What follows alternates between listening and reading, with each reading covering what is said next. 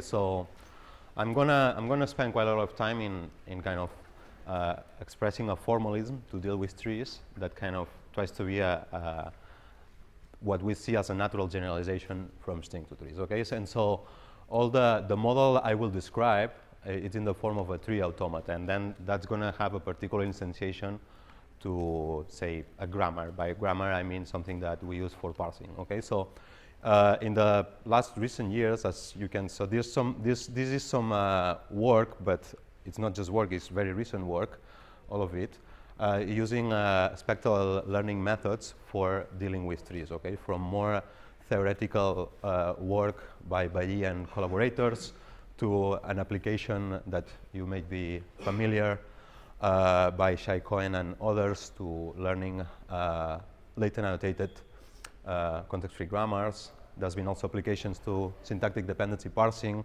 and there's been uh, also some applications to unsupervised learning of grammars.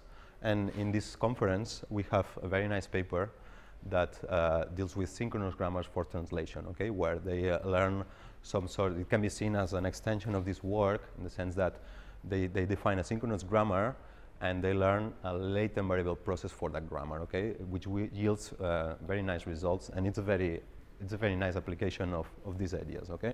So I will try to show the framework of tree automatas just to give uh, an idea of uh, how to how to design uh, methods like that, okay. So we're not going to go uh, to, to a point where we can actually understand these contributions, okay. We're going to be a, at a more general uh, I, I, will have a more, a more general discussion, okay? So the general discussion is the same idea of some desiderata, okay? So now our objects, we're going to be trees, okay? And we want a function over trees that computes things, okay? And we want this function to be compositional, okay? So what's going to be compositional? Okay, so we, if we have a structure, it seems that we can think of a cut, okay? So I can, I can, I can divide uh, this tree into this lower tree and this uh, uh, upper tree, okay, in two parts, okay? So by a compositional function, we mean that this f needs to be expressed as the inner product between some function that takes this upper tree and computes some uh, n-dimensional vector that summarizes that upper tree times uh, a beta function that takes the lower tree and computes an n-dimensional representation. Okay, and we want that our function be our function be the inner product of uh, these two vectors. Okay, of which ahead of time we don't know the space. Okay, but by composition we mean uh, one ingredient of compositional is that this happens. Okay. The other ingredient is that because we have many places in which we can cut a tree into two, okay, or even into three, okay? So the same idea should happen. We want that our function behaves the same irrespectively of where we place the cut, okay? So if we do a cut such that we isolate a node here, so we have this upper tree, so we want our function, as before, to compute uh, an n-dimensional vector summarizing this tree. Uh, then this, uh, this here gets a slightly more complicated than before. So then we have two other bottom trees here. Okay, so we have uh, n-dimensional representations of these two trees here. Then we have some cross product. I will be more specific about that. And then we have uh, a matrix uh, related to the node here that kind of puts these uh, things together and completes our computation. Okay, so and of course I could select any other place where I can cut my trees into two or three parts. Okay, so what I want is to uh, deal with uh, a, a, class of functions that has these properties.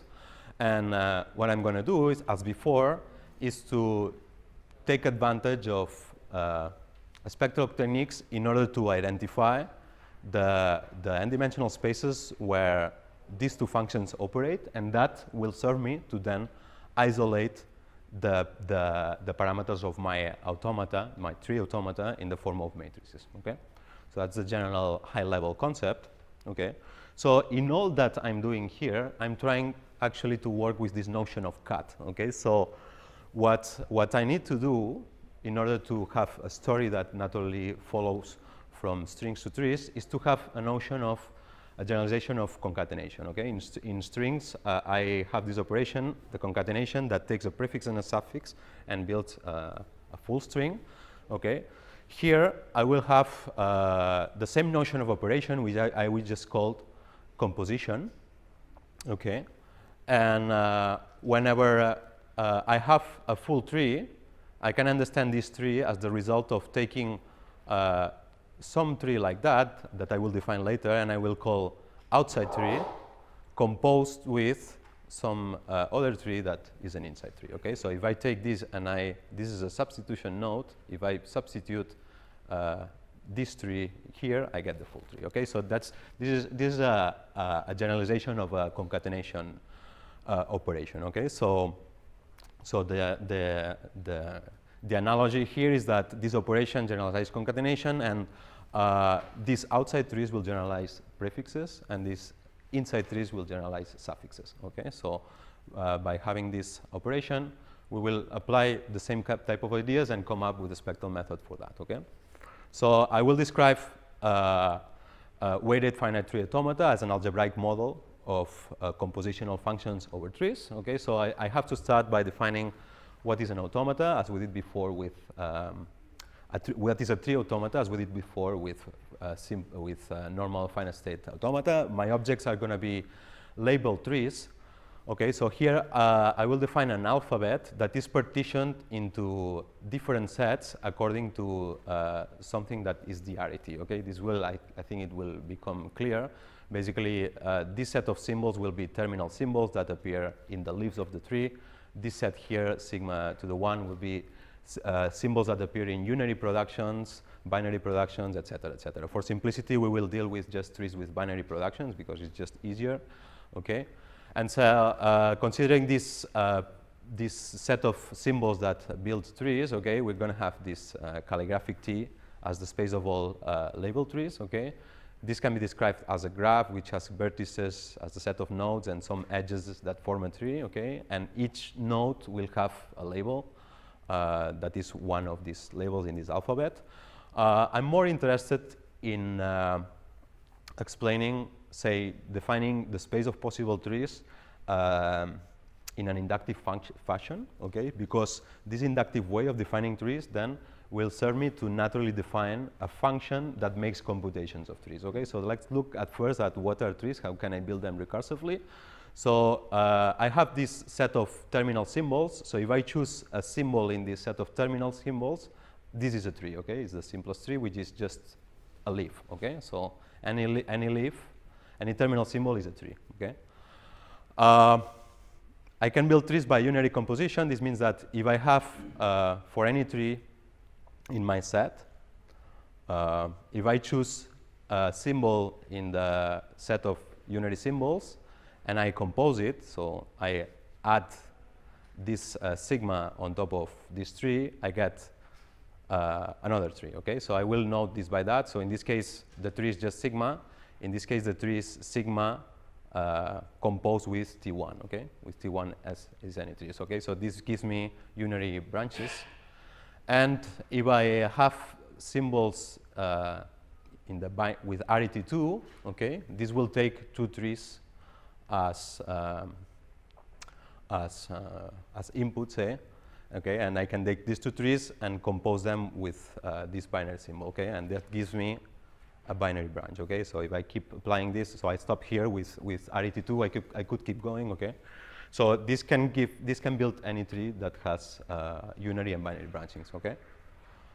Uh, okay, I defined what are my objects in a recursive func function, I need also to, uh, so to, we, are going to define a model that is, that use, employs vectors, matrices, tensors, and combinations of vectors, okay? So I'm going to use this Kronecker product operation or cross product, okay? Uh, I'm just going to define it for our purposes, uh, purposes. So say that I have two vectors in, in the same dimensionality. This could be uh, defined more generally, but uh, in our case, the two vectors we combine are always in the same dimensionality. Okay, so this operation, which is uh, the cross product, gives me a vector with uh, n square dimensions, which contains all possible combinations, okay, all possible products. So here's a small example. If my first vector is AB and second vector is CD, the result of doing the cross product of V1 and V2 is AC, AD, BC, BD, okay? It's a square number of dimensions, okay? So our trees, in order to simplify notation, uh, we're going to be of arity 2. So that means that we're going to basically deal with three type of uh, um, linear algebra objects. First, vectors, which say it's our base type of object, okay? Uh, and then matrices and tensors, okay? So I will take a pragmatic view of these uh, objects. I will just, we, we just can think of a matrix as some object that takes one vector and produces another vector, okay? So the product of this matrix with a vector gives me another vector in, in Rn, okay? So just this, uh, this superscript tells me the, how many arguments this is expecting, okay? So a, a, normal matrix is something that expects one vector and produces one vector, okay? And I will think of a tensor as a matrix that uh, maps two vectors n square to one vector, okay? So it takes two vectors and produces another vector, and this is by uh, taking the cross product, as we define it here, of uh, these two input vectors times this matrix will produce another vector, okay? By just so, and this, these are linear maps, okay? So this is a linear map for the vector, and this is a linear map in the space of all combinations, okay? So we'll just take this pragmatic view.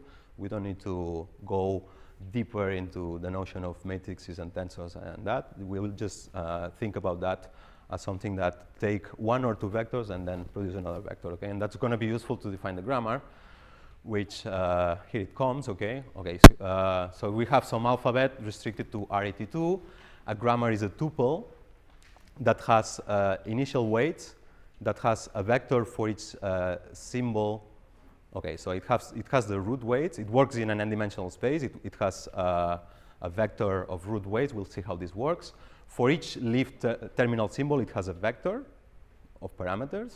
Then for each uh, node of arity 1, it has one matrix, and for each node of arity 2, it has a, this kind of tensor, okay? Let's see how this works, okay? Now is where I, by following the, the inductive definition of trees I used before, I will associate uh, a process that computes a function and mimics the way that works, okay? So I will, I will start by defining what we call the inside function, okay? Um, so it's a function beta a that takes a tree and produces vector in Rn, okay? So there are three cases. If my tree is just a terminal symbol, I will take that the function on this tree is just the vector associated to that symbol, okay? That is this case, okay? So in this case, the base case is just a vector, okay? In the case that my tree is built by a unary composition of uh, a unary symbol with another tree, then the vector associated to this tree is taking uh, the inside vector of this inner tree, the, in the vector associated to this, times the matrix associated to this unary symbol. Okay? So here's when we see that we have a vector and we have this matrix that takes a vector and kind of maps it to another vector that is kind of the, the transformation we do after adding this unary production, okay? And here's where uh, the cross product comes, okay? So if we have a tree that is built by combining two existing trees with a binary production, okay, we're going to take the inside vector of each of the two trees, do the cross product, and then the tensor associated with this node will turn this combination back into a vector. Okay, so it's kind of updating the vector form to include this unary production. Okay, so by this recursive function, I can map any tree to an n-dimensional vector. Okay, which we call the inside vector. Okay, so what is the function that my tree automata computes? Okay, so I can say that every tree automata A defines a function that maps trees to now scalars. That's the final uh, value computed by the function by just taking the inside vector of this tree and uh, times the root weights associated with the grammar. Okay, so this will uh, then turn the inside vector into scalar, okay, by just an inner product, okay. So we can see the example of how things uh, run here. Say we have this tree, okay, so we, the computation goes bottom up as the inside algorithm. This mimics the inside algorithm for those of you who are familiar. Okay, so at every, uh, at every leaf, our model, our gram, our tree automata has a vector for each leaf. Then we go up, okay, so this, is, this will be the, arg so here we have a matrix, and this is just the argument to this, it produces another vector. And so this node has associated a tensor uh, that expects two vectors that just come from children, okay, we just respect the order. And so um, this has associated a tensor that takes the two children, uh, the, the result of the two children as, uh, as inputs, okay? So we have that this is a vector that kind of summarizes bottom up, summarizes uh, all these three into a vector, okay? So if we do the product of this with the root weights, we get the, the, the score, the prediction of our model for this tree. So as before, we can think of this uh, weighted uh, tree automata as a function that, as a model, as a latent variable model that, that uh, takes trees and produces uh, and predicts the scores, okay? So in this case, we're going to think of an existing tree, and we're going to think of a process that, for each node in the tree, associates some uh, latent variable in, the, in this number of states, okay? So the computation we just saw is equivalent to uh, thinking that given the tree, we, we assign each of the nodes one of one value of the, of the hidden state, okay? And then we have, we have a model that can uh, evaluate uh, the tree annotated with hidden states, and then we do a sum over possible ways to annotate the tree with, with hidden states, okay?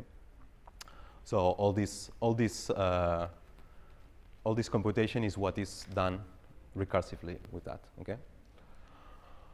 So because of this, analogous to uh, the first part, we can think of BA, the, the inside function of a tree, as something that computes features. Okay, it computes the features of a tree in a compositional fashion, and then our model is just an inner product in this space. Okay, so we can, uh, this is the explicit form of the inner product. Okay, so this would be the weights of our model, and this would be the features of our tree. Again, insisting that it has a nice property that this feature vector is compositional. It can be updated in a recursive function fashion.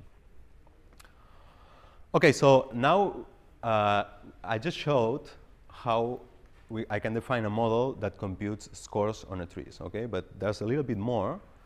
Um, that computation uh, can happen not with, not with just the inside computation I, I showed, but it, we, can, we can see the same computation in different places, okay? And uh, to do that, I need to define this notion of outside trees, okay? So, uh, okay, so one uh, intuition is that if I have one full tree, say, and I pick one node, I can distinguish between the subtree of that uh, at that node, which includes the node itself, okay?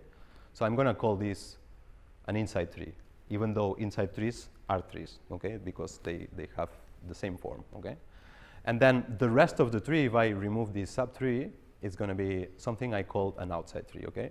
So this outside tree now, instead of the node V, it has this special node marked with a star, which can be thought of as a footnote if you want. Uh, uh, uh, in tree adjoining grammars, we, we talk about footnotes.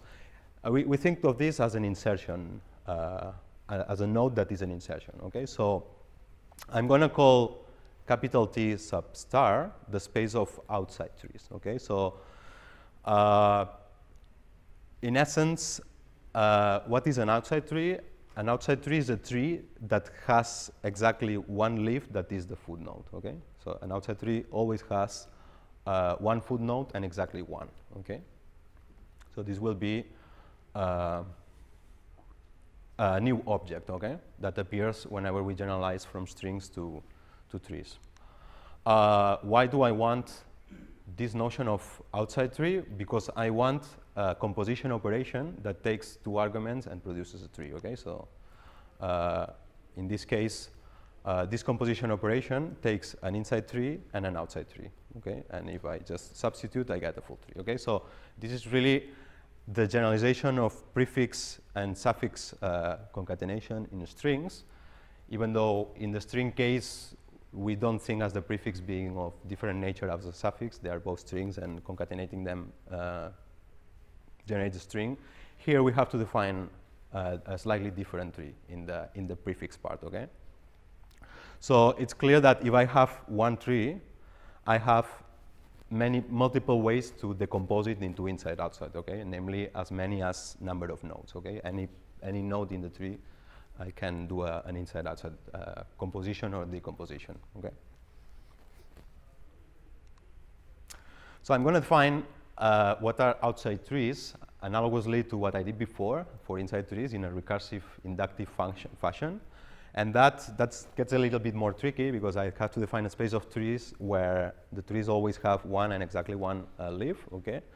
But why, what I, why I'm doing that? I'm doing that because defining the trees in this fashion will then allow me to, assign, uh, to, to then define a, a, computational process that assigns vectors to, to any outside tree, okay?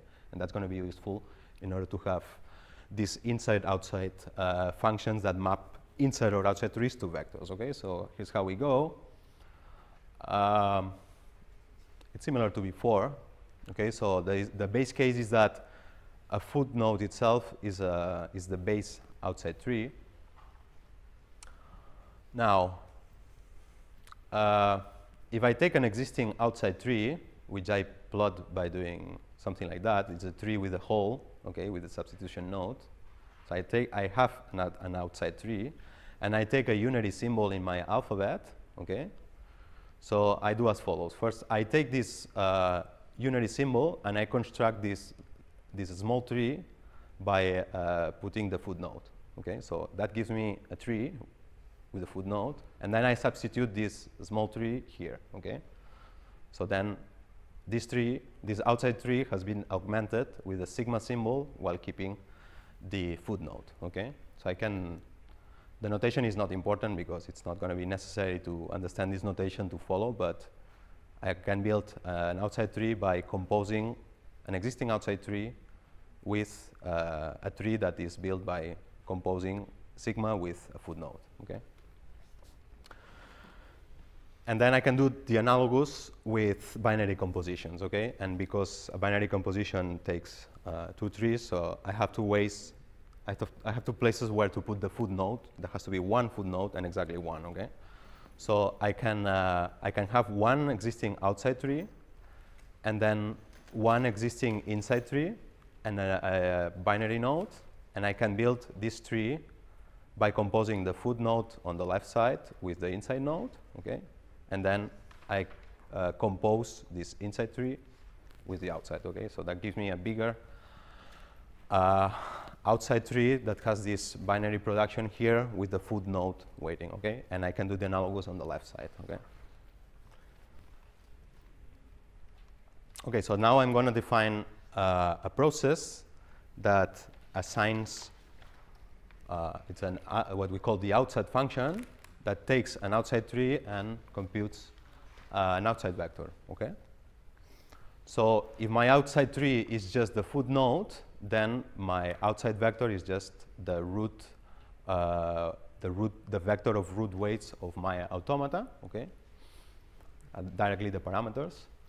If my outside tree results from composing an outside tree with uh, a unary production, then uh, this is basically taking the matrix associated to this node and, and kind of uh, doing this product of the outside vector of the outside tree with this matrix, okay?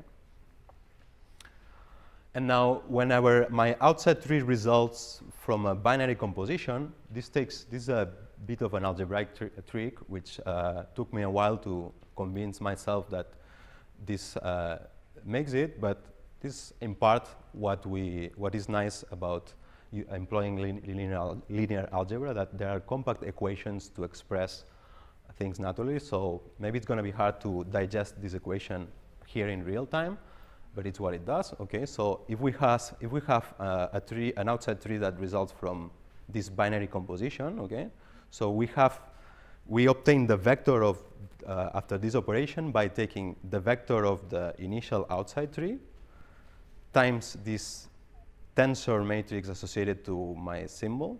And then here's where the tree comes, okay?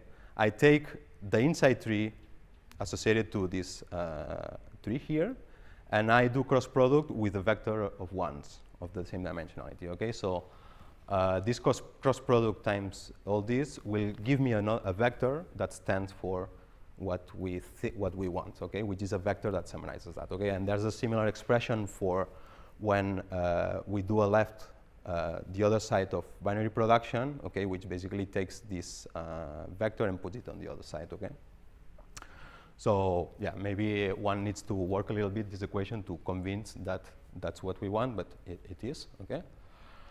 Uh, so why do I define this? Because by having this definition of inside and outside function, now I realize that my uh, tree automata is fully compositional. Okay, what would, do we mean by that? That if I have a tree for any any node where I do an inside-outside uh, decomposition, I have that the function that my tree automata computes on the full tree is equal to the inside vector of the outside tree times sorry, the outside vector of the outside tree times the inside vector of the inside tree. Okay, so it's it's this uh, notion, this generalized notion of uh, a string concatenation. With a string concatenation, any any way we have to decompose a string into a prefix and a suffix, then we can associate the forward and backward vectors and do the inner product. So here is analogous with the inside-outside decomposition. Okay, so we have the outside process generates a vector, the inside process generates a vector, and the inner product of that um, is the function of my tree, okay? So the, the, the spectral algorithm will come that if we have examples of trees and we break them in different ways, from this uh, composition operation, we kind of isolate this, the, the, the vector spaces in which these two functions operate, okay, by doing factorizations, okay? And then because we can move the decomposition by leaving one node in the middle, okay, so now I have that I can turn this tree into an outside tree, an isolated node, and two inside trees, okay? An equation like this uh, follows, okay? So now I have that, I have uh, the value of this function on this tree as a function of uh, inside and outside vectors times the parameters associated to this node of the grammar. Okay, so this will allow me, analogous to before, to isolate the parameters and then and so learn the the automata. Okay. Uh, so once we have these kind of equations, we're going to proceed as we did before. Okay. Uh, we're going to consider the Hankel representation of our function that we want to learn. Okay. So I, since uh, up to now, I described the functional um, form of our tree automata, okay? Uh, we can have uh, our function expressed as a mat in matrix form. Uh, let's think of the conceptual uh, Hankel matrix that is infinite times infinite. Before it was indexed by prefixes and suffixes. Now it's going to be indexed by any possible outside tree times any possible inside tree, okay? Uh, the value you can guess. So the value, the entry at uh, for an outside tree and inside tree is the value of the function when composing these two. Okay.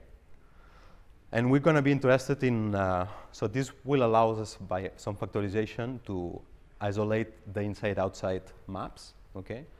And in order to extract the, the operators of the grammar, we're going to be interested in subblocks for each symbol, okay? So, so the subblock for a symbol is the entries uh, corresponding to one outside vector and then inside vectors that are, are, always headed by the symbol, okay? So, so we will always have this sigma on top of each inside tree, okay? Can my inside tree have a foot node and recursively each inside tree acts as an outside tree for its uh like recursively in order to do what, sorry? uh, inside trees having a footnote. Um, but with, with, with you, are, you are trying to define an alternative uh, decomposition? Yes. Yeah, so in my inside tree, can that inside tree also be a composition of an inside and outside? Yeah, yeah. So yeah, so the inside tree is a tree. The the space of inside trees is also the space of trees. So you could think that the inside tree is, as a matter of fact, built by composing, which, which as a matter of fact it is. Okay. Uh, so I choose to break here, but I, but then so you could see this inside tree, yeah, as composing this part with this part. Uh, yeah, if that was your full tree, uh, yeah, that intuition is is is is valid. Uh, you can you, uh, any tree you can anywhere turn it into an inside and an outside. Okay. What we want is to uh, to build a tree by kind of composing two objects. Okay. So any edge will be one place where you can cut the tree. So precisely this way of cutting into it is what allows us to organize our trees or functions in the form of a matrix. Okay. Uh, so it has the same properties as before. It's highly redundant. Okay. And so it will reveal the structure. Okay. So the fundamental theorem uh, is telling us that the rank of the Hankel matrix is, is uh, the number of states of uh, weighted uh, finite tree automata that computes the function, okay? And this will, uh, so if we have a function over trees, okay, um, it's the same theorem as before, okay? So if our function is computed by a, a, a finite weighted tree automata, then the, the Hankel matrix associated uh, with it, we're going to have rank at most n, where n is the number of states of the automata. But the interesting uh, side of this theorem is the other one, that if we, if we happen to find a Hankel function, a Hankel matrix that has rank n, then there must exist a tree automata with n states that computes this function. Okay, and this is, as before, this is the site that we're going to use in order to uh, design a spectral algorithm that recovers this, um, this, this function.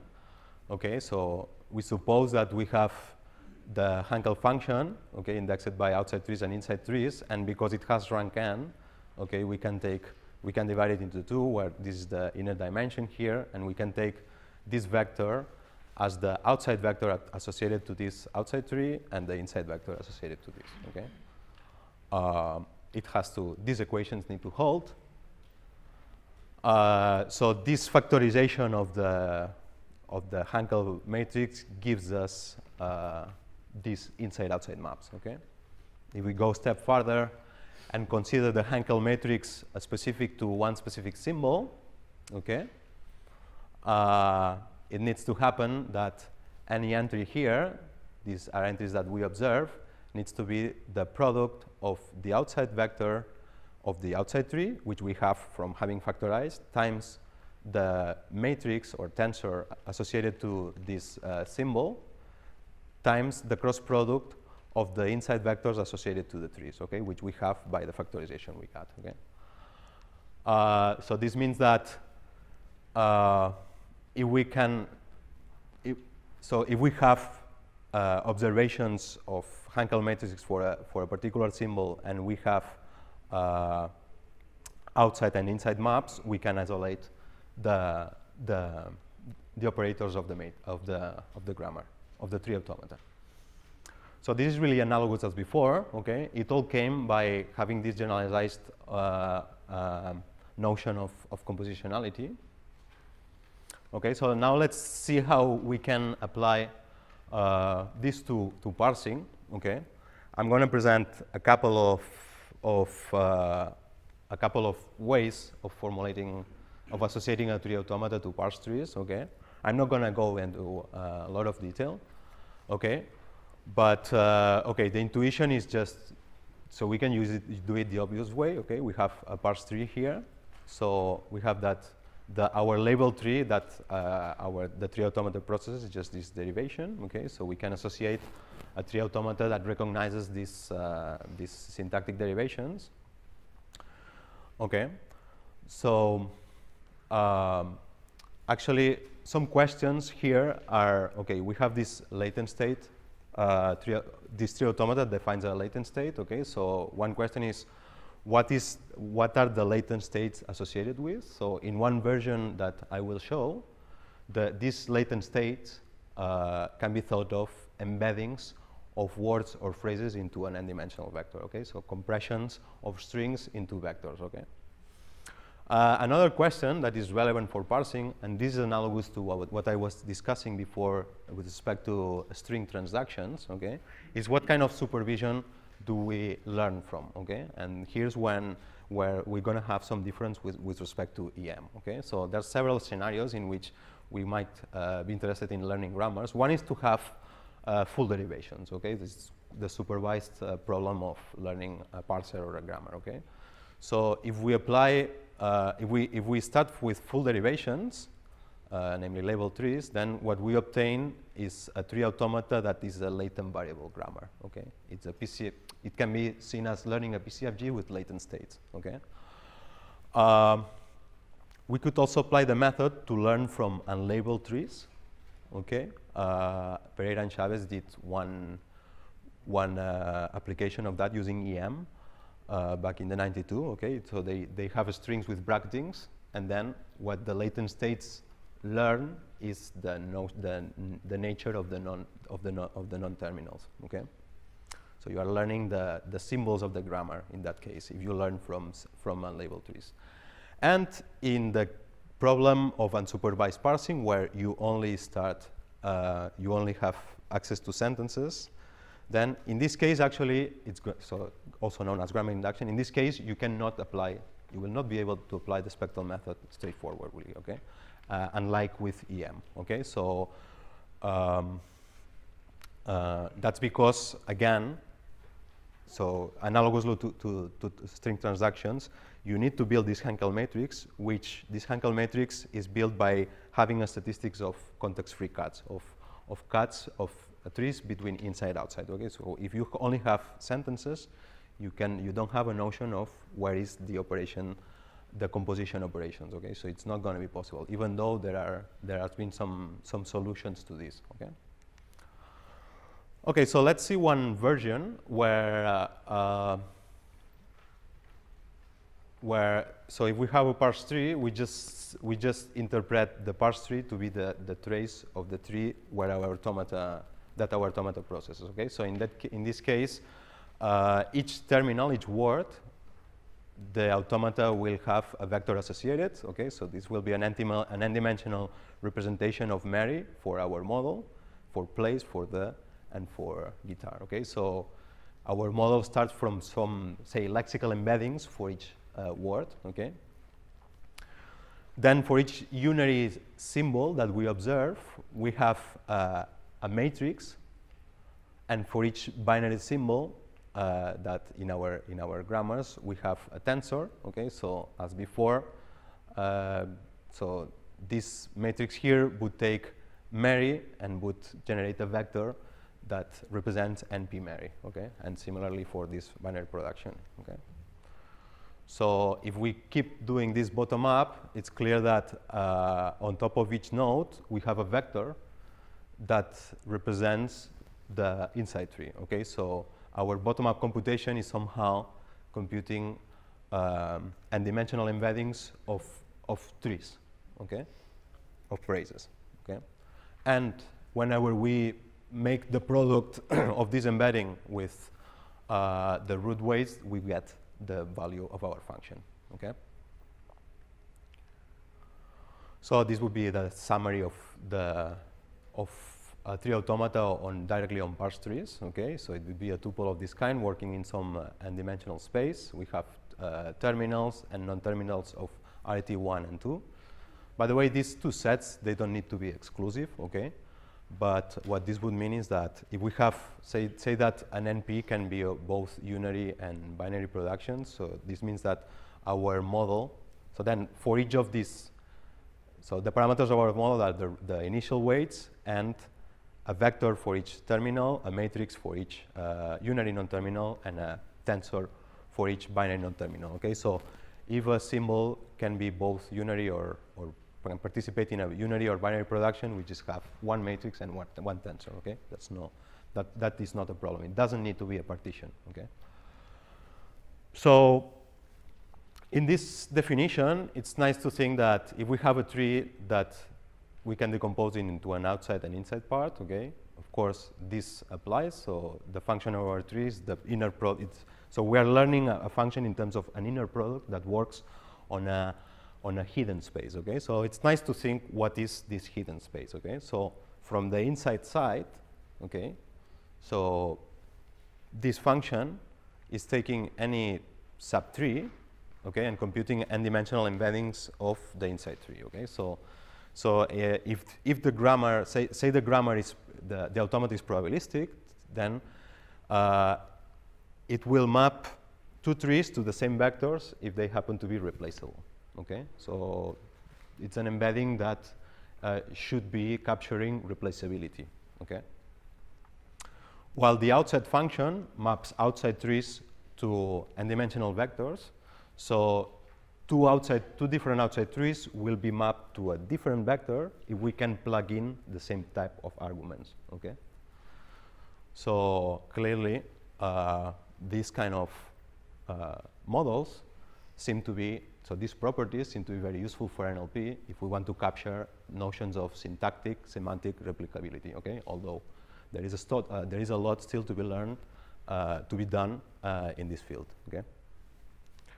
So let me briefly talk, and uh, uh, with this I will finish this part, uh, on, a, on a, an alternative way of defining a tree automata for parse trees, okay? And in order to do that, so here I have a parse tree, but with every parse tree I can associate another tree, which I'm going to call the production parse tree, okay? So it's a tree that has a node for each production, okay? So this top production here, S goes to NPVP, so I get a node here and then this has two children, okay? Uh, and big, so for this edge here, I have this node here, and for this edge here, I have the node here. So we clearly we can translate uh, any tree to any production tree, okay? So the production tree is actually uh, representing the sequence, it's not a sequence, the operations, the tree of operations that uh, we follow, that a context-free grammar would follow in order to generate something like that derivation, okay? So instead of associating a tree automata here, we can associate it here, okay? So, so now, if we associate uh, a tree automaton here, we would have that, we have an operator associated with every node, so we would have an operator with, associated with every context-free production, okay? So um, operators in this grammar, so namely matrices and tensors, are associated with unary or binary productions. Okay? In this case, because we're operating here, there are some constraints. Okay? So this composition, uh, so if we choose to decompose this tree by this outside tree and this inside tree, we can only plug them together as long as this node is the same. Okay? So uh, together with this representation, there are some constraints on which kind of trees, inside trees, which we can compose with the other ones. Okay? So uh, the effect that this has is that the latent states associated to our automata are actually uh, refinements of each non-terminal of the grammar. Okay. Uh, so the automata operating on these trees will learn a separate and dimensional space for each non-terminal. Okay. Each non-terminal will have its own uh, vector space that defines an inner product. Okay. So this class of uh, weighted automata is interesting because if we just work with uh, the dimension being one, we get the classic uh, PCFGs, okay, that have, so in this case, they, they would have one tensor of dimension one for each node, which means one scalar weight, so we would have one weight for each production, okay? So we get, we, we recover the, the classic uh, weighted context-free grammars. And we allow, if we allow the model to learn uh, more hidden dimensions, then we get this uh, latent annotated uh, probabilistic context-free grammar, okay, which was proposed some years ago uh, by Matsuzaki and Petrov, and they made very nice models using EM, and recently uh, Cohen and colleagues have been using it to, with have been trained uh, grammars like that using spectral methods also with very interesting results. And as a matter of fact, the paper that is presented here for uh, synchronous grammar for translation follows this uh, notion of associating uh, operators of the grammar to tree productions. Okay. So in general, a spectral learning of tree automata gives us kind of uh, a, a, nice generalization from strings that we believe is quite natural, and it, it kind of makes us think of a framework by which we can uh, define compositional functions and associate uh, weighted models for them. Uh, that these models mimic the compositional nature of, of, our, of our functions. So I think that uh, the same ideas can be used in order to, to define maybe models that are uh, that that have a more linguistic um, motivation behind uh, with respect to those operations, but we still can define a compositional process like that. Okay, so if we have such a notion of compositionality, then it should be possible to define a spectral learning algorithm uh, that works analogous to that. Um, so with that, we're going to change to the last topic. Uh, if there are questions related to um, this block related to grammars, how did you compare this model in recursive neural network and also can complete the representation for the short tree? Uh, there are similarities uh, with with uh, latent state models uh, trained with with um, with neural networks. Um, um, so in neural networks, they have also some sort. So people have defined models that have that keep mapping every inside tree to some n-dimensional vector and embedding. Okay. Uh, one difference is that with our definitions here, so the mappings, so the, the, the, operators associated to each production are always linear. They, they take a form of a, of a matrix or a tensor, okay?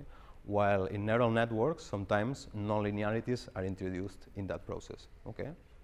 So the, the consequences of that uh, are unknown to us. We don't, we don't understand well what is the consequence of that, okay? Uh, certainly the fact that they are linear, that we associate linear operators to each uh, node in the, in the automata makes it possible to have then this notion of Hankel matrix and decomposition, okay? Because it's, we are all, we are, we stay in the, in the, in the, in the class of linear uh, functions operating in some hidden representation. Whenever you put nonlinearities, you probably lose that, okay?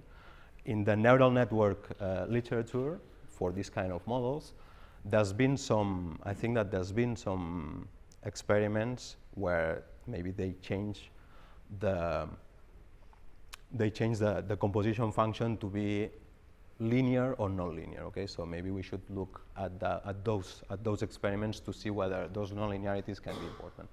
But I don't I don't have those results at hand.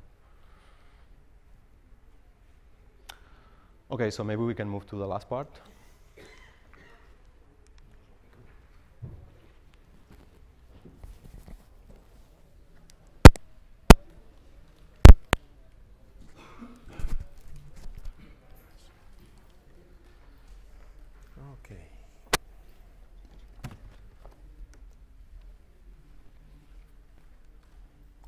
plenty of time.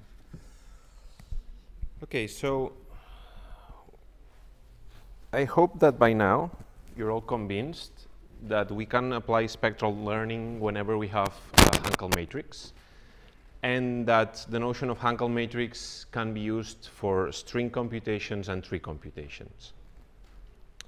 So what I want to do next is talk about what happens when we are in a setting where the Hankel matrix is straightforward to or infer.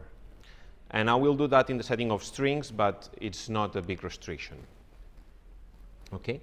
So, so the main idea is how are we going to apply this, this framework, this uh, pipeline, the Hankel trick, when the function we want to learn is not a probability distribution. So that in order to estimate the Hankel matrix, we cannot make use counts from our data. And examples are, are, are, I mean, you can find examples everywhere. So if you want to apply this framework to learn a classifier over strings, or you want to make real valued predictions, or you want to have, uh, for example, a scorings uh, for tagging which have non-probabilistic interpretation, say like, I don't know, you want to learn using a max margin framework. So let's begin with a simple example. In the case when we were learning a probability distribution over strings, well, we had our sample, we uh, computed the empirical distribution and took the Hankel matrix of the empirical distribution as the input to our spectral learning algorithm. So from here, all we did was just factorize this matrix using SVD and solve the equations to recover the weighted automata. But now, what happens if we are in uh, a more general regression setting where the examples are strings again, but each string comes with a real label? Well, if each string comes with a real label, we can again infer or try to come up with the Hankel matrix of the function for which we have some examples, but there will be missing entries. I mean, the Hankel matrix has to be rectangular. There's no workaround for that. SVD works on matrices. And whenever you fix some prefixes and suffixes, two things can happen. I mean, you can have like missing entries, or you can restrict yourself to a very, very small Hankel matrix. So if you don't want to restrict yourself to a small Hankel matrix, you need to put something in here before you can compute the SVD. And, and the, the important observation is that this, a similar thing happened when we, were when we were learning probability distributions, but in that case, putting a zero there is what makes the most sense because the empirical probability of this uh, string BB is zero, and if we haven't observed it in a, in a large sample, this is not a large sample, but if we don't observe BB in a large sample, then it's, it's safe to assume that the probability of BB is zero or is close to zero. On the other hand, here, we have no a priori knowledge of this type. Like, why would you put a zero here instead of a 3.5? So, so we would like to be able to fill these entries and then apply the spectral learning. And that would give us um, a method which is more general, where which we can learn weighted automatas for more general tasks than just probability distributions. And, and the first question we might ask is why is it at all possible to fill these entries in a principled way? I mean, why would you expect that you are able to fill these entries if you haven't observed? And, and, uh, and the main idea is, again, this, this fact that the weighted automata and the rank of Hankel matrix are related. So the, the number of states of the weighted automata is related to the rank of the Hankel matrix. So that means that we would like to fill these entries in a way that the Hankel matrix has low rank. And, and this is possible because even if the matrix has size n times m, you actually only need n plus m times r coefficients to represent such a matrix. This is what the SVD tells us. Okay, so actually we don't need information about the n times m, m entries to know the matrix. There's the amount of information in this matrix is n plus m, not n times m. So, so somehow there's a hope there that if we have some entries, like say of this order, we might be able to recover uh, a Hankel matrix with low rank that will allow us to apply the spectral method. So, so that will have many applications, and in particular, it will have applications to some of the, of the problems that Xavier was mentioning, where the kind of supervision that we have is not the supervision that the spectral method can take. So for example, think about when we were talking about transductions where we don't have the alignments. So there we have a lot of information, but it's not the information of the entries of the Hankel matrix. Or think about uh, when we want to do grammar inference, where we have yields, but we don't have the parse trees. We have information about the Hankel matrix somehow, but we don't have the entries of the Hankel matrix. So there are many information models one can consider. The simplest one is when we know some of the entries of the Hankel matrix. So the first case, we know a subset of entries of the Hankel matrix. Or we know linear measurements of the Hankel matrix. So we don't know anything about the entries of age, but we know something about the entries of H when we uh, multiply them by a set of vectors B. Or we can have bilinear measurements, which is actually a, a, a general case of the subset of entries. So subset of entries is just bilinear measurements when U and V are indicator vectors. Or maybe we don't know anything about the entries, like the values of the entries, but we have constraints between the entries. We know that some string should have higher uh, value than some other string because we are in, say, in a max margin setting where we want like some, like some, say, some tagging to have higher score than some other tagging. And of course, we can also have noisy versions of all the above. Okay, so this if we are able to solve this type of problems, like learn a Hankel matrix from this kind of informations, we will be able to apply the spectral method in more general settings. Uh, and also, this is a place where you can put a priori information you, how, you have about this function, about your Hankel matrix. So the, the very simple thing, very simple things we know about the Hankel matrix is that the entries have to satisfy some constraints, uh, equality constraints, you can also have uh, constraints about the entries, say that you want the entries to be smaller than, than some given value C. You know that the matrix that you, when you fill the entries, it should have low rank, but you can also have other types of information about your function. So this is a, this is a uh, framework that would allow you to, to, to put this, um, this uh, prior knowledge into, into the game when you learn the Hankel matrix. So now I'm just going to focus on, on this, uh, this first case here when we know a subset of entries of the Hankel matrix. But I mean, uh, some of these have been looked at, some is just open problems, how to deal with them, but I think all of them are interesting and, and feasible. So how do we formalize the problem of finding a Hankel matrix that agrees with the data that we have when what we have is just a subset of the entries? And we're going to formalize this using, using the empirical risk minimization approach, which is something commonly used in machine learning. Okay? So the, the input data is a set of uh, n pairs of strings and real labels. So x will be strings and y's will be real labels. And, and in order to learn this Hankel matrix, we're given a set of parameters. We're given the rows of columns of our Hankel matrix. So some user will say, okay, I want to learn the Hankel matrix using this data, and I want to learn this particular subblock on these prefixes and suffixes. The user is, can also give us some loss function, and, and preferably a convex loss function, that we will use to compare two real numbers, which we think of them as two labels. So one of them will be labels in our data, the other will be the labels in our Hankel matrix, and we want to have a loss that says how, if depending on how close these numbers are, what are the loss that we suffer.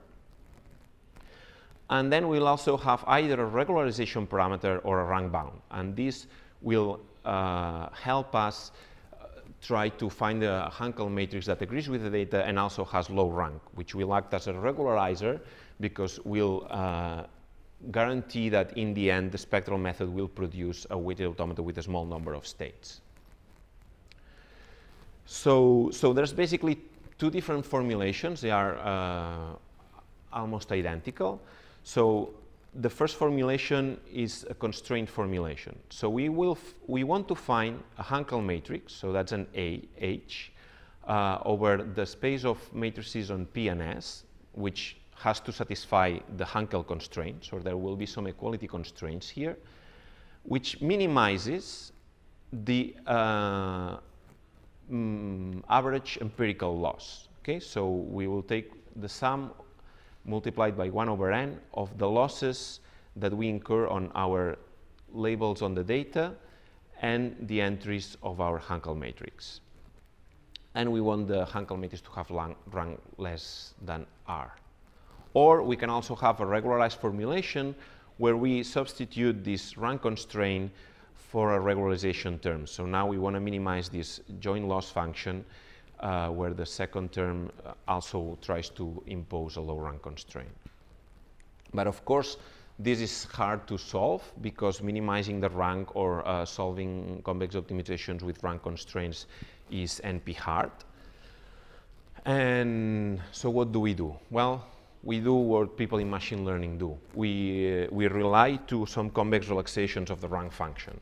So the most natural one in this setting is the nuclear norm. So the nuclear norm of a, of a matrix is denoted by this uh, norm star and is the sum of the singular values of the matrix.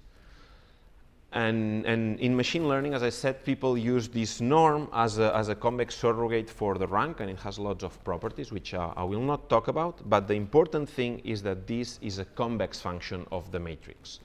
So if we go to our regularized formulation for uh, the learning the Hankel matrix, and we substitute the rank function by the nuclear norm, we end up with this problem, which when the loss function is convex, this is a convex optimization problem. And convex optimization problems are nice because we know how to solve them in polynomial time.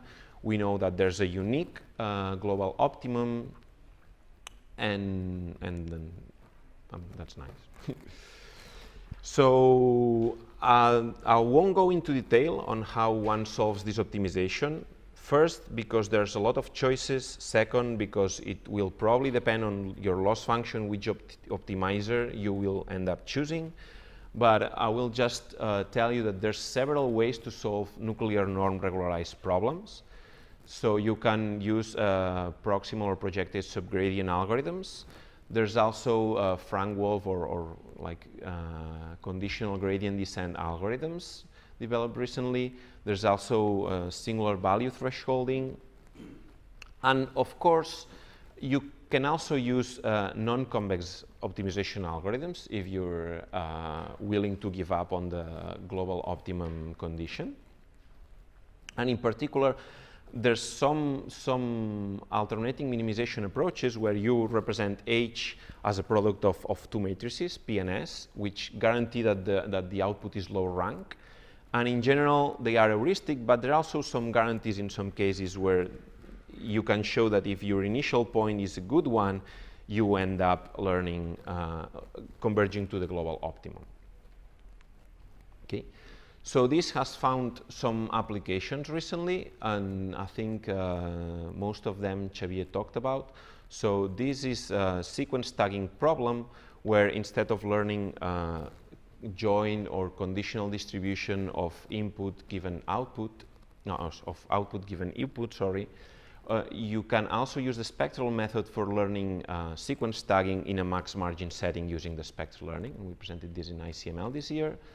And there's also um, applications of this Hankel matrix completion problem to unsupervised transducers and unsupervised context-free grammars. And, and that's it. That part is really short. Uh, so the, mm, I want to conclude now, and maybe we have time for some discussion and questions, but I think that the, that the main take-home points of the tutorial are that spectral methods are an alternative approach to learn compositional functions uh, by means of algebraic operations instead of other like uh, iterative methods like EM or split merge. And that the, the key idea, the key idea is this use of the Hankel matrix, which is, and factorizations of the Hankel matrix, which is provided by these forward, backward, or inside, outside recursions. So whenever you have a computation that you can partition, and, and this partition gives uh, a, low, a low rank factorization of a Hankel matrix, you can ideally apply these type of methods. And it's applicable to, to a wide range of formalisms, mm, finite state automaton transducers, context-free grammars, maybe more synchronous grammars, and so on. And, and it's nice that in, in the end, when, when you have weak supervision, you end up making these connections to, to matrix completion and empirical risk minimization so that you can import a lot of ideas from that have been recently developed in machine learning to try to solve these methods. But this is, this is really the, the frontier. This is where all the open problems of these methods lie. Uh, so that's it. I think we have plenty of time for, well, 20 minutes for questions, discussion, or I don't know. Yeah. Uh, so of the Hankel matrix and how hard it was to hmm such that it was easier if the singular values were larger. Yeah. And then here, when you're minimizing the nuclear nor- norm, what you're trying to do is minimize the singular values. So does this mean that this approach is looking for a Hankel matrix that is harder to learn, or? Okay, yeah. yeah, that's, uh, that's uh, apparently innocuous question, but it I think it's a, it's a really good point. So the intuition here um, is that the nuclear norm is the L1 norm of the singular values. And, and in machine learning, there's this, uh, there's this, like there's theoretical results and intuitions that say that minimizing the L1 norm induces sparsity. Okay, so that if you're minimizing an L2 norm, you will try, so an L2 regularizer will try to make all your weights equal, and an L1, an L1 regularizer will try to make as, as many uh, weights zero as possible. So the idea is that if you're minimizing this, this norm, you will make as many singular values uh, zero as possible, and that will, uh, will promote low rank solutions. But of, of course, there's, there's, this, uh, there's, this, there's this result that says that in the case of, of learning a probabilistic automata or an HMM, uh, the models that are hard to learn are the ones for which the smaller singular value is very small. Now, the thing is that uh, in, in, for, this case, for this type of approaches, we have less theoretical results.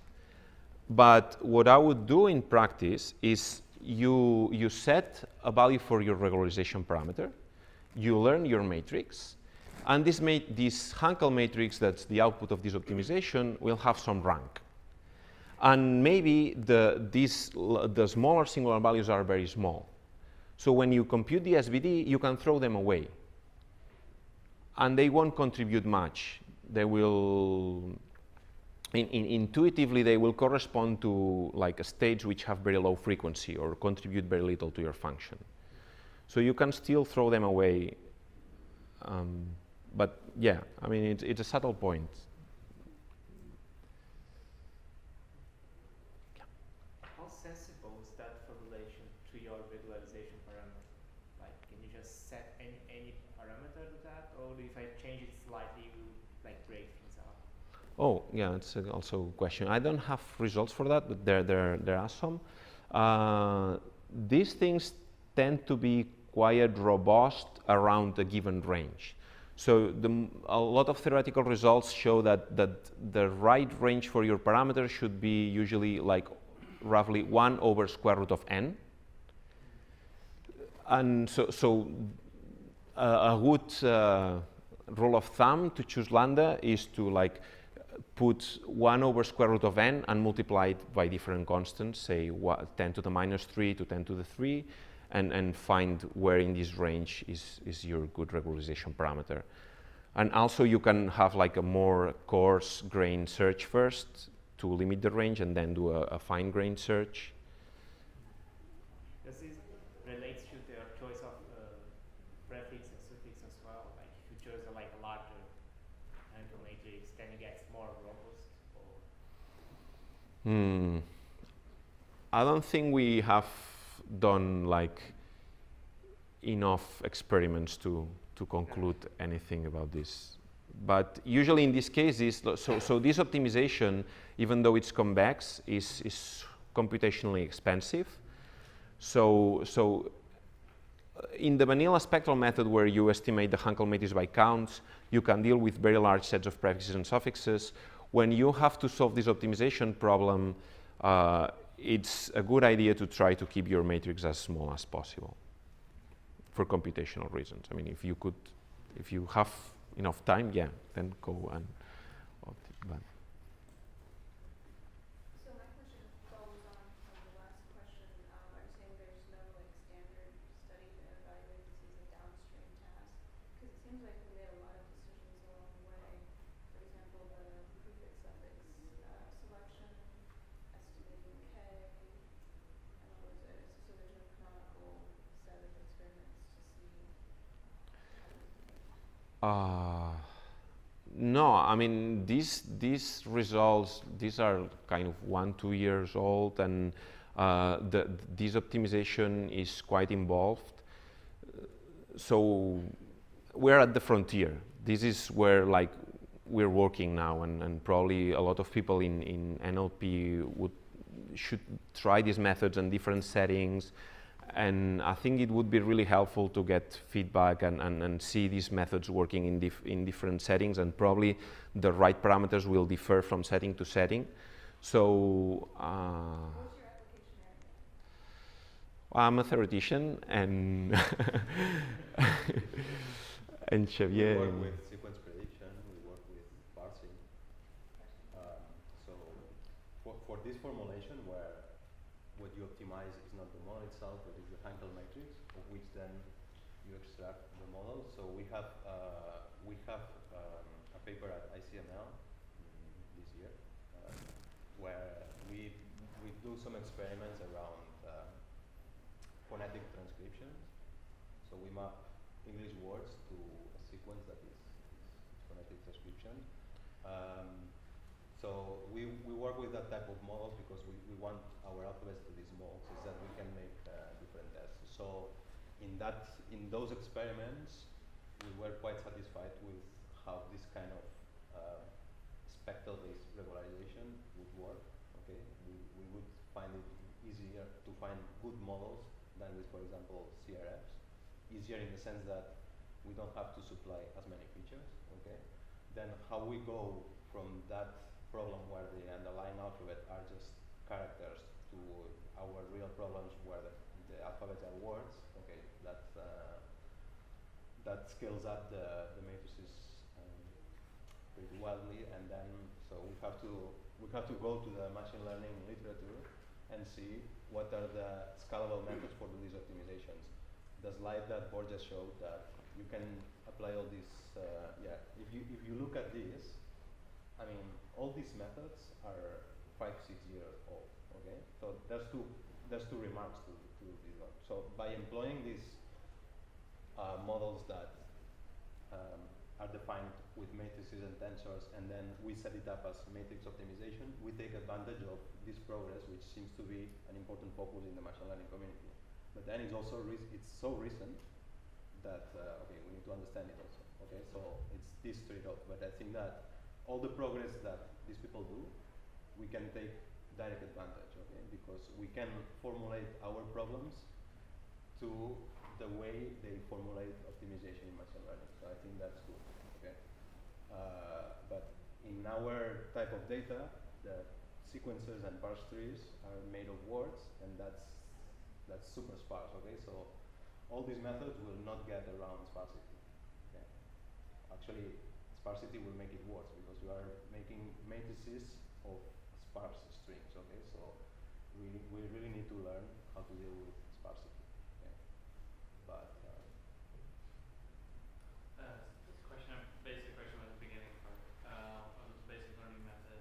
Mhm. I think I understand the operations of the learning method, but what's the, what's the lections of, what are the, what's trying, what's the objective of the learning? I mean, Is it trying to, how do, is there a way to characterize why one set of weights for WFFA is better than another set of weights?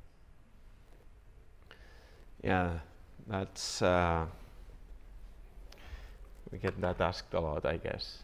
So there's a, paper we did in 2012 where we started with the basic spectral algorithm for uh, for probabilistic automata, and okay, this. Ah, no. Okay, so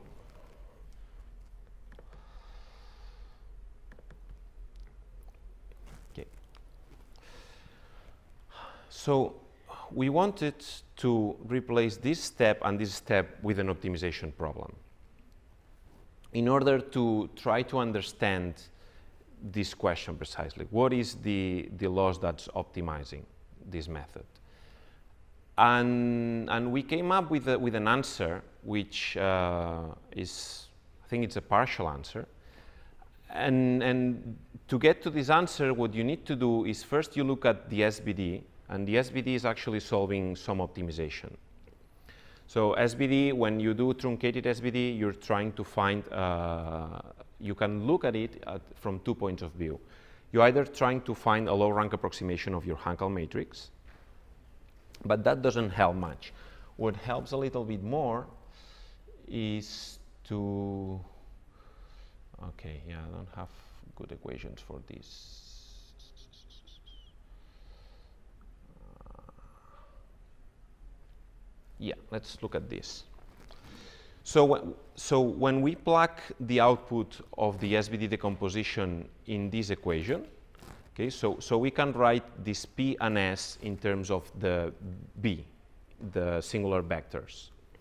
Okay, uh, so so when you plug these singular vectors in here, you end up with uh, something that looks like a, a Frobenius norm minimization. So you, you can minimize the, the Frobenius norm of h times b times h sigma times b.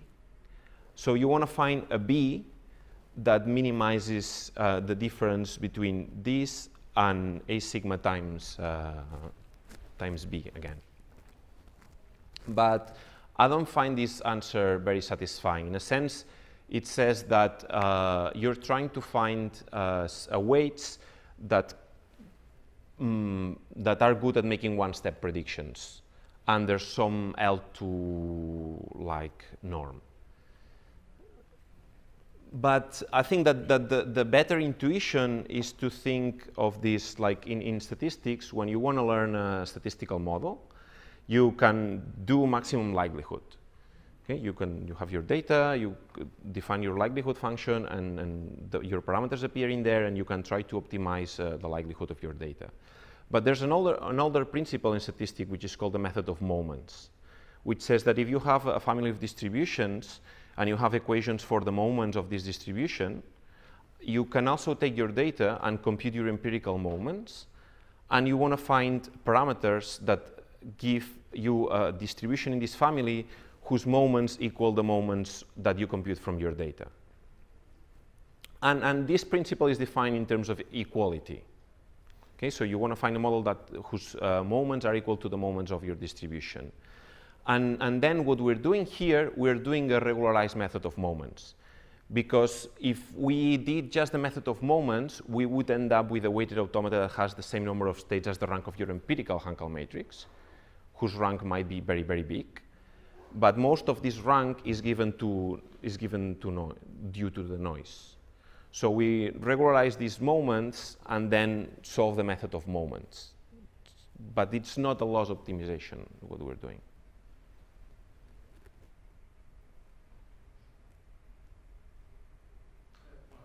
Yeah. So when we build a high state machine, sometimes we'll give the states certain names because we have a feeling for what they mean and we'll connect only certain states to other states because that's our human intuition about the domain. And then we turn over the probability learning to machines. That's hard for Mhm. to do. Um, other times we just build a fully connected machine where every state can give every state the Yeah. Well, that seems more like uh, what you're doing here. Uh, the second one, not not as much the first Yeah. Is there any way to put this kind of domain knowledge about what really affects what if you had such intuitions into here, or should we just this is the fully connected, you know, uh, high? The method as it is works better with fully connected machines, but there's two places where you can put uh, your, where you could try to enforce your prior knowledge. One is like when you're like estimating your Hankel matrix, like we did in here, you could of course add another regularizer to this optimization. Uh, so if you have extra knowledge about your function, how your Hankel matrix should, should look like, you could add another term here, and if it's convex, you're, you're okay. Uh, but that's not about the machine, that's about the function. If you want to impose knowledge about the machine, you can, well, one way we know how to do that, but uh, I think it's just one way. There might be other ways, and, and that's, uh, I think that's uh, a very interesting open problem. One way you can do that is in, in this paper I was mentioning, 2012 ICML with Xavier and Ariadna, where we tried to study this uh, formulation in terms of a loss of, of the spectral method. We then took this initial formulation in terms of Frobenius uh, norm and, and give a convex relaxation of it. So we end up with a convex problem. And we are learning the automata by solving a convex optimization. Okay? So in there, you could also add uh, other uh, regularizing terms to this convex optimization that uh, impose knowledge on your, on, about the machine. The problem is that the only way we know how to do that, right now, you end up with a weighted automata which has as many states as prefixes in your Hankel matrix. So you learn huge automatas uh, you can like you could impose the prior knowledge there, but then ideally when you get the automata you would minimize it and you would lose this structure. So yeah, it's it's the best we have right now. But you, you have knowledge of the your previous knowledge has to do with the trace of operations that generate the string transduction or something like that.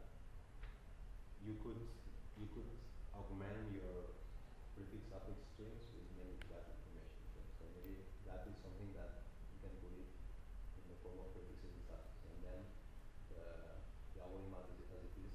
Mm.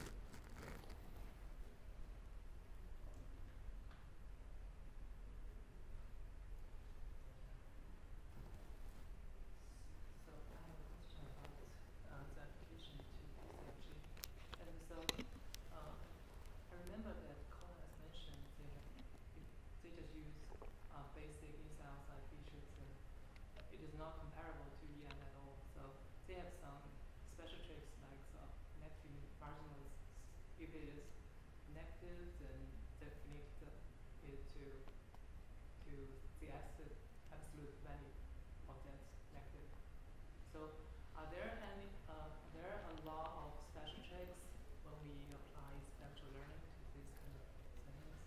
I, I didn't understand what, what, what made it different. It's certainly doing spectral learning is it's not like EM. Uh, Yeah, in so- the sense that it's, it's not searching over probabilistic grammar. Just trying to find our compression of this. Uh, Yeah, I mean, uh, so when they are doing spectral learning, so if they just use basic inside outside features from the inside tree and outside tree, yeah, it's not comparable to EM results at all. So it's not. Because EM, EM, uh, but that, that also applies to, to, to sequences.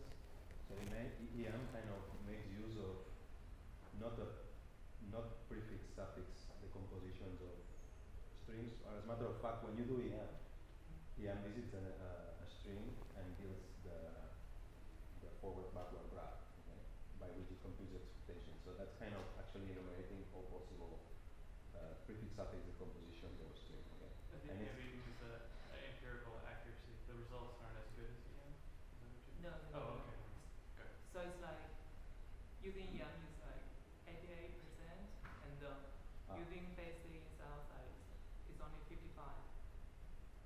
And uh, they have some kind of special tricks like if it is negative marginal, they flip the value of that marginal. So this this kind of trick is hard to imagine. Uh, well, I cannot answer. I cannot Hmm. answer for this.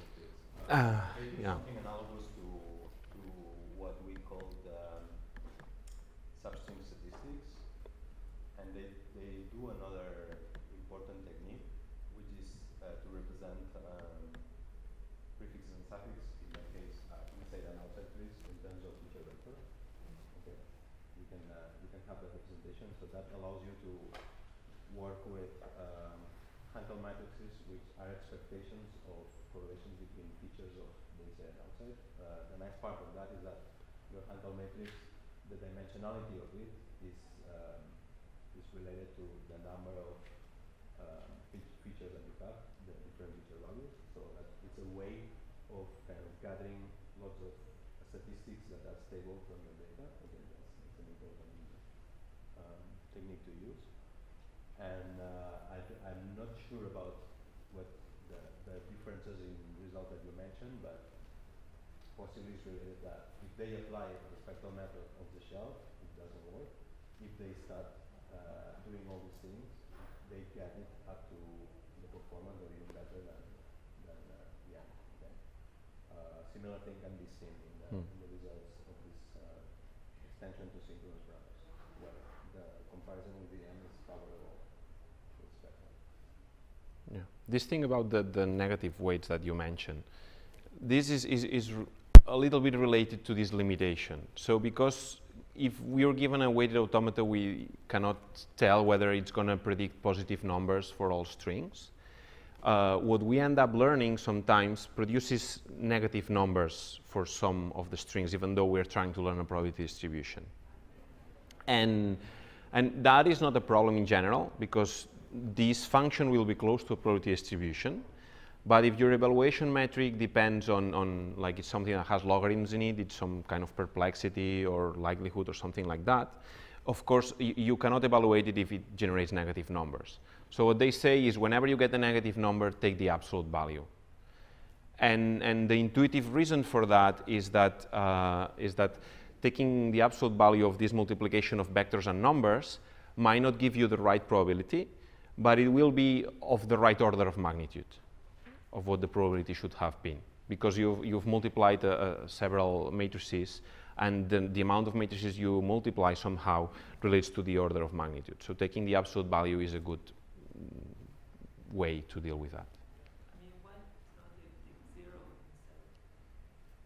Zero is still like the logarithm of zero is, is minus infinity. And, and if you like you could replace it with uh, say the machine epsilon, like the smallest value you can represent. But then you, you would do that even if the string has length one or the string has length 100. And you want something that depends on, on, on the string because the, the probability will, the order of magnitude of that probability will have something to do with the length of the string. So that's why the absolute value works.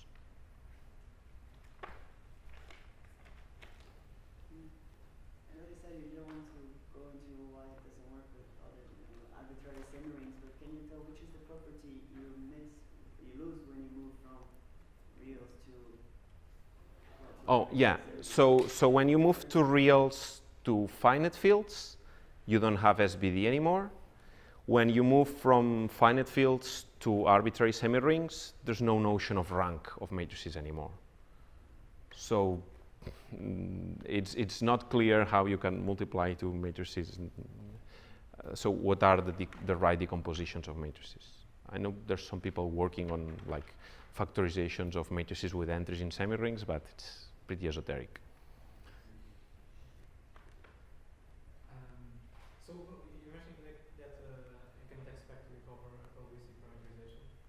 Um, so if, if, if A, if all entries into matrix A are non-negative, uh, is it do, do can you find uh, a transformation like a matrix Q that uh, gives you a probabilistic parameterization of the FSA?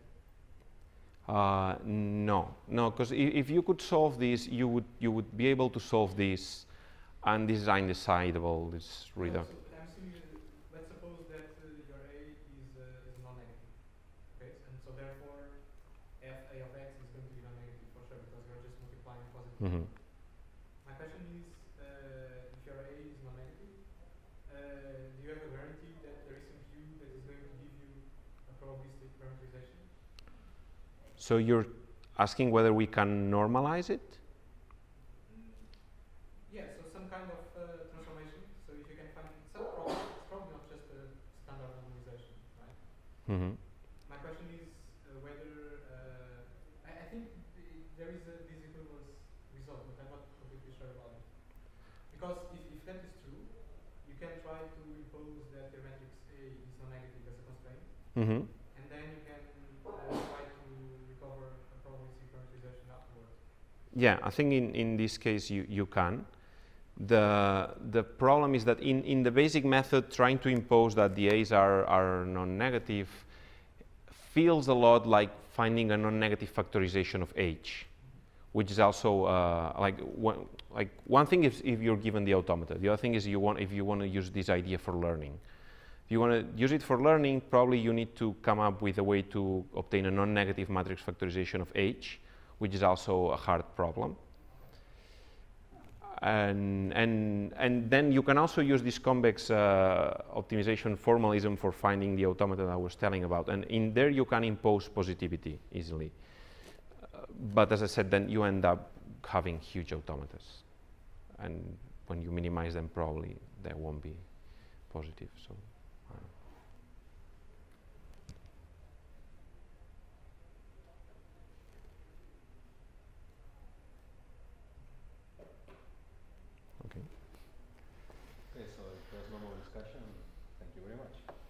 Thank you.